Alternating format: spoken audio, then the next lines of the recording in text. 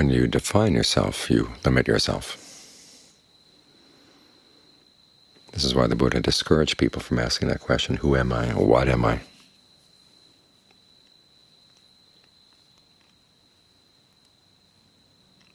Because not only is the answer irrelevant to the practice, oftentimes it can get in the way of your actually being motivated to do the practice and understanding what you're doing. If you define yourself as ones and zeros, it's an awful lot that ones and zeros can't do. They can't know the deathless. They're bits of information. They're not anything that knows anything.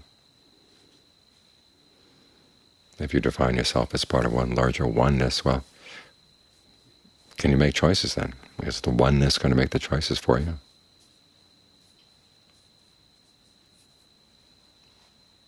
You down, go down all the long list of different ways that people identify themselves, define themselves, and there's always some limitation. So the Buddha said, put those questions aside. Focus on what you're doing and what you can do. And how do you know what you can do unless you explore it? And he gives you some exercises to get started, to get the mind trained so it can watch itself, and also expand its range of abilities. The more consistently mindful you are, in other words, the longer you can keep something in mind, the more you'll be able to put things together and understand cause and effect. As you remember a particular cause has happened, and you can trace it all the way through to the effect coming out. So we work on mindfulness. Concentration, you keep your focus.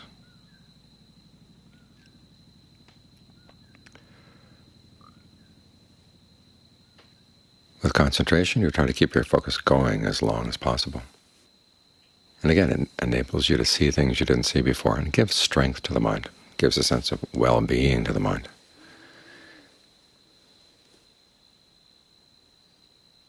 And you start knowing things about the mind that you didn't think you could know.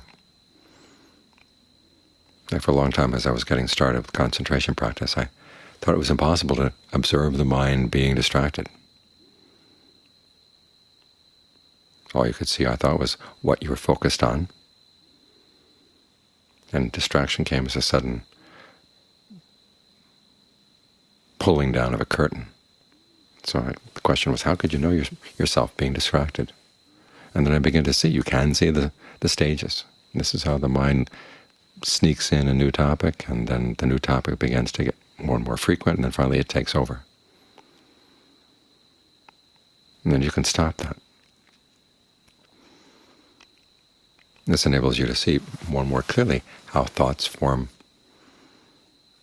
and to what extent things coming up in the mind are intended right now and other things, which things are intended from the past, and which things are things that you can't remember the intention at all. You start sorting out present karma from recent karma from long time ago karma.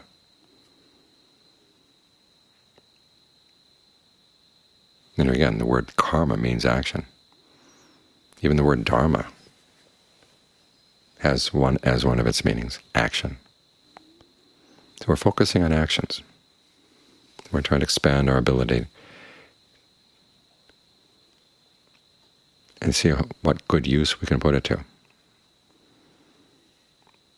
One very good use is to notice ways in which we're creating unnecessary stress and suffering for ourselves and for other people, and to learn how to stop. In fact, as the Buddha said, that's the primary good use of the meditation.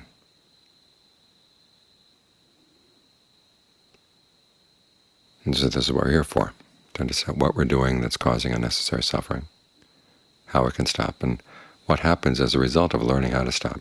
It opens up some really fascinating dimensions in the mind, dimensions that we tend to ignore because we're too concerned with our intentions right now, what we want right now, our desires, and all the stuff that just goes cluttering through the mind, all the issues we dig up around who knows what.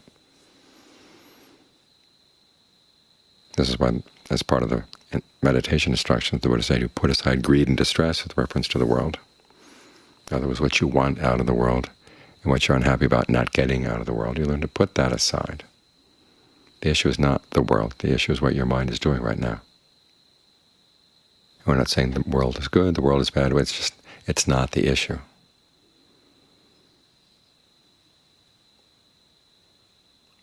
Right now we just keep going and going and going, creating more and more stress and suffering for ourselves.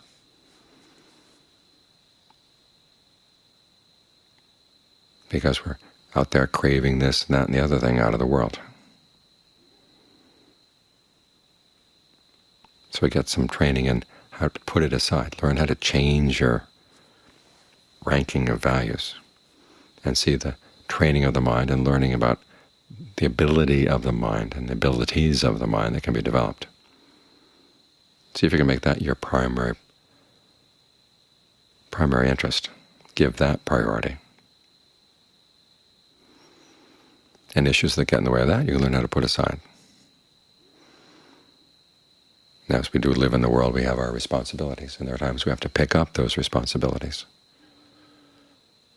But again, we need to have we have to develop a sense of which are our responsibilities and which are not. The Buddha said that's a sign of a wise person, knowing what you're responsible for and what you're not responsible for, taking up your responsibilities and leaving behind the things that you're not responsible for. And unfortunately, there's no clear-cut algorithm that you can apply. But you do have this ability to make your mind more and more sensitive to the meditation, through the meditation and learn how to apply that sensitivity to events in the world. Remembering the Buddhist perspective on this, it's just that we've been going through this many, many, many times. As he said, you go through the world and it'd be really hard to find somebody who hadn't been your mother at some point, hadn't been your child at some point, hadn't been your brother or sister, hadn't been your father. We've been doing this for such a long time that all the roles get all mixed up.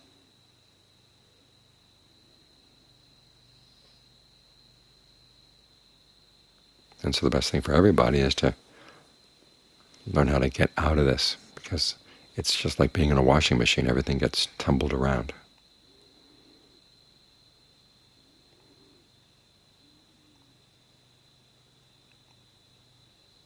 Big difference in the washing machine actually accomplishes something. It cleans things. Well, this just, just keeps stirring things around and around and around. Nothing really goes anywhere. There are good things, but then there are bad things, and there are more good things, and more bad things. And one of the motivations for training the mind is to see, well, how much good can you do consistently? And you find that true good finally leads you out of the cycle entirely.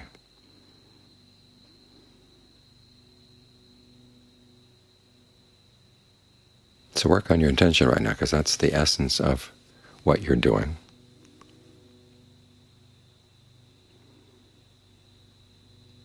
And see how skillful you can make those intentions. As the Buddha said, you do this by, on the one hand, not doing anything that you would anticipate would cause harm,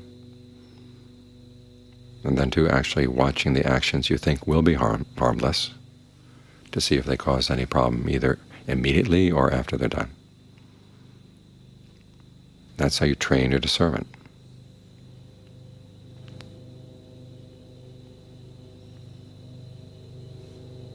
It may start out with trial and error, trial and error, but after a while, by being willing to learn from your errors, it turns into trial and success. As you get more and more sensitive to what you're doing, what your intentions are, And as you work on trying to be as skillful as possible, you expand your range. That's the important thing about the practice, is that it expands the range of what you can do. To the point where you get where you don't really care about defining yourself of what you are, because what you've found through what you do is so much more valuable.